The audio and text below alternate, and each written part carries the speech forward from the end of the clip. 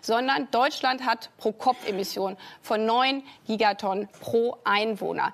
Bangladesch das ist zehnmal mehr als Bangladesch zum Beispiel. Deutschland hat pro Kopf Emissionen von 9 Gigatonnen pro Einwohner. Definitiv, definitiv nein.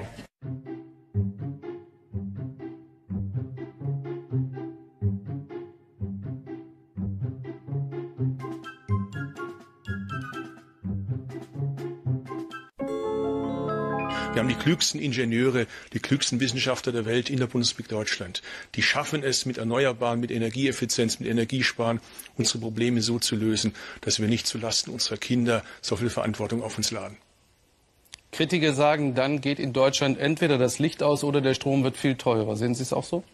Ach, wissen Sie, wir kennen die Argumente. Die Argumente sind ja nicht ganz neu. Im Spitzenlastbereich, also nicht im Normallastbereich, dann, wenn der Energieverbrauch am höchsten in Deutschland ist, ungefähr mittags zwischen 11 und 12, verbrauchen wir ungefähr 80 Gigabyte. Wir produzieren aber ungefähr 140 Gigabyte. Das heißt, das anderthalbfache dessen haben wir immer noch übrig, was wir brauchen. Ungefähr mittags zwischen 11 und 12 verbrauchen wir ungefähr 80 Gigabyte. Wir produzieren aber ungefähr 140 Gigabyte. Ist das dein Ernst? Und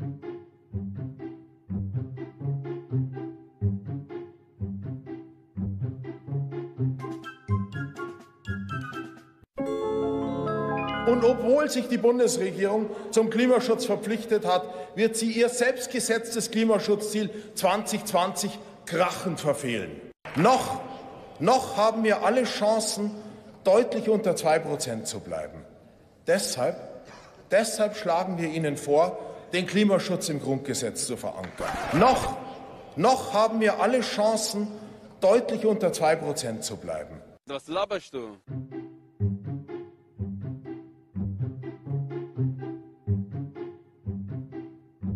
Lasst uns dieses Europa gemeinsam verenden, liebe Freundinnen und Freunde.